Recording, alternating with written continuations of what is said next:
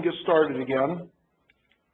So the last section of the day is the operating system and the, I'll talk about the labs that we have, but you don't have to do them. Uh, once you get available longer after this to actually uh, play around the system if you want some direction on what to play about.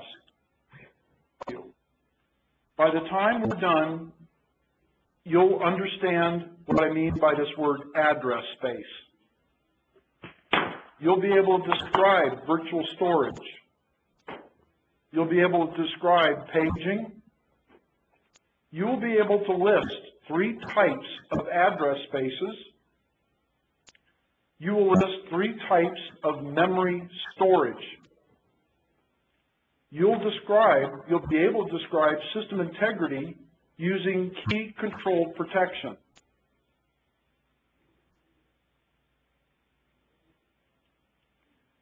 So as I mentioned, the ZOS operating system, when it's really running, it's inside the mainframe. However, the operating system code is stored on disk. So it's read in off of disk and placed into the operate, placed into the mainframe. And of course, the whole environment, it's got attached tape drives tape, to get the tape cartridges, and it's got consoles. Very high level hardware resources managed by ZOS.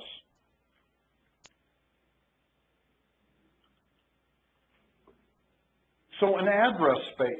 I'm going to be talking about that in more detail, but there are many address spaces running. And I'll be talking about what an address space is. I'm also going to be talking, when I use the word storage here, in this uh, ZOS operating system overview, when I use the word storage, I'm, I'm translate that to mean memory instead of disk storage. So storage, we have real storage, like your RAM, and we have auxiliary storage, which is an extension of the RAM, but placed on disk. And then there's this thing called paging. Also, I'm going to be talking about data integrity and some of the characteristics of RAS, reliability, availability, and serviceability.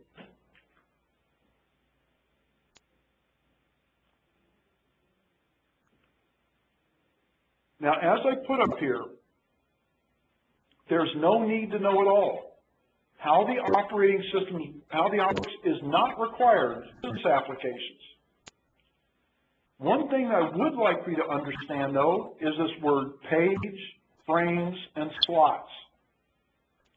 Now, I will tell you the operating system is broken up into many different things, a PSA, a CVT, the ASCVT. I'm going to talk about all these things. I'm also going to talk about memory management, the DAT, the RSM, the ASM, um, protect keys. Do you need to know all this? No.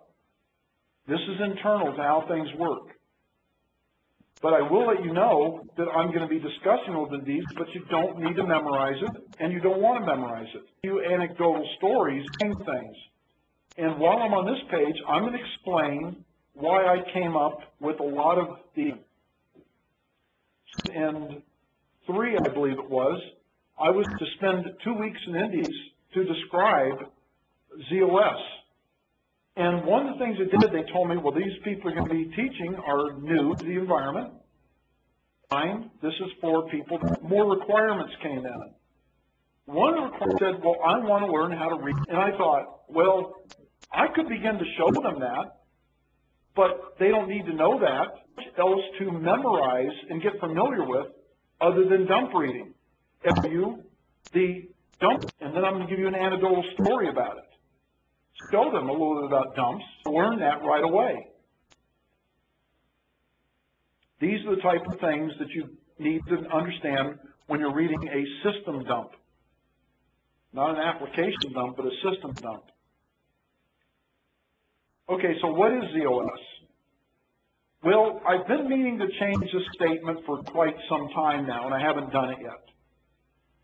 This statement that is here first, the most widely used mainframe operating system. It hasn't been true for many years. Thus, is indeed considered the flagship operating, the most widely used operating. Anyone care to guess what the most widely used mainframe operating system is? It's obvious. Yes? Let's see if there's a guess. What's the most widely used operating system? There's a guess at VM. It's it's not TPF. And as soon as I see it, it's going to be obvious. It's not VSE. it's not OS390. You're all going to go, oh my goodness. So there's five operating systems. We've named almost all of them, but the most popular one. Ah, who said that? Well, it's because Unix is part of it's Linux. Very so Linux are up there are thousands and hundreds of thousands of Linuxes running in a mainframe environment as part of conserver consultant Linux. So this statement is not accurate. It's not the most widely used mainframe operating system. Linux is the most widely used operating system. Now, ZOS is the 64-bit operating system. That's one of the things that we need to ZOS feature of that was that OS390 was a 31-bit operating system. 64-bit operating. The operating system is definitely ideal, ideally suited for processing large workloads of many concurrent users, serving thousands, tens of thousands of concurrent users. It's IO-intensive computing for processing very large workloads, running mission-critical applications securely.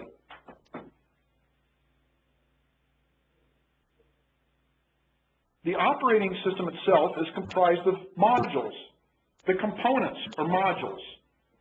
So there's uh, system information about the system resources and tasks are in something called control blocks that I'll be talking about later. Management of physical storage. Think three types of physical storage management. Real storage manager, auxiliary, virtual that is for managing memory. So an address space. What is an address space? Now, typically here, I don't read this. Now, think of everything, every started task, or every, every TSO session actually is an address space. When you log on to TSO, you created an ad. When you submit a background CL, that's an address space.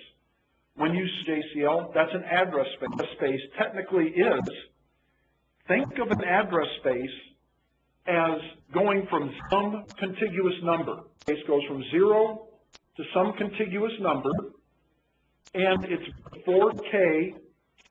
So the size of the upon what you have in there, program and other things. And so the address space, think of it as going from zero to some, is contiguous to some, the 4K chunks.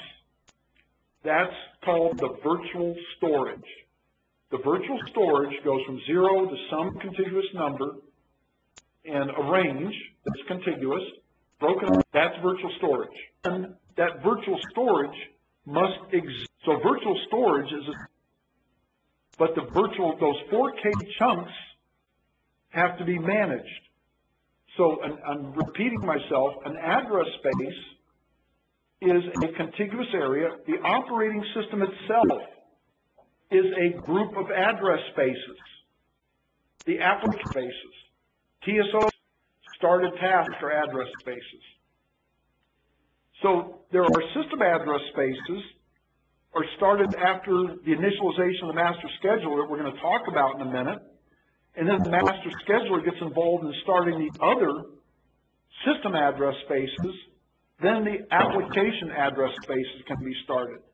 All of the middleware, DB2, CICS, WebSphere Application Server, they are address spaces. As I mentioned, TSO/E is an address space when you log on to TSO. Let's talk about the address spaces.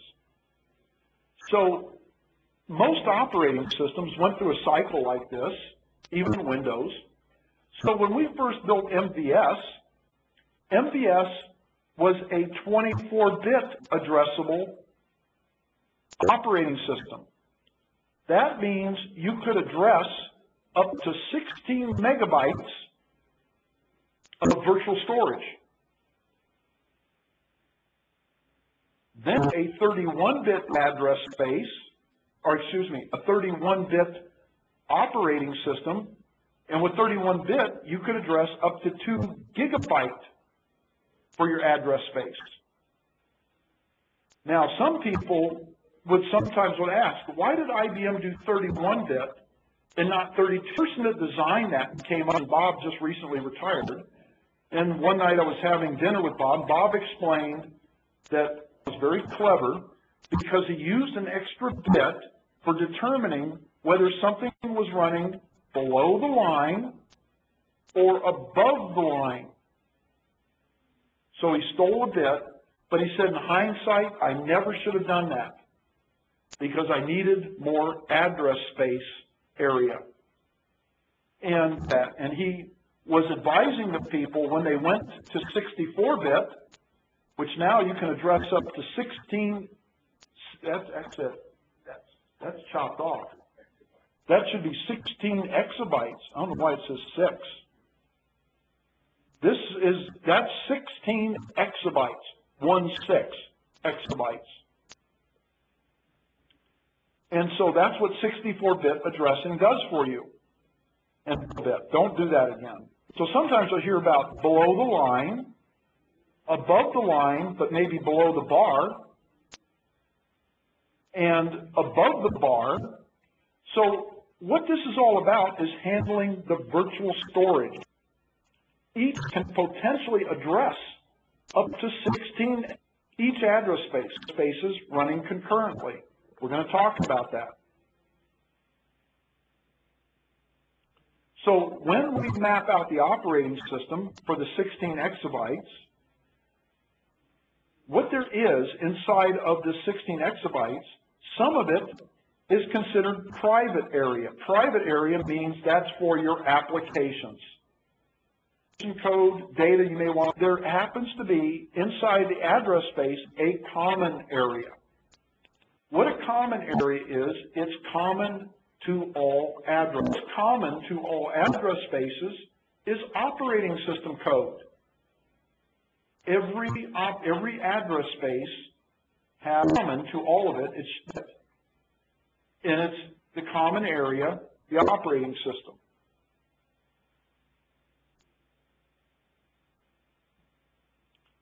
As I point out in this slide, what an address space may have in it, going from zero to whatever, it's contiguous. It could have operate. It's it, it's uh, got virtual storage for operating system code, application code, temporary work areas, system code, metadata. But there's hundreds and thousands of these address spaces running concurrently. You can think of an address space as a runtime container.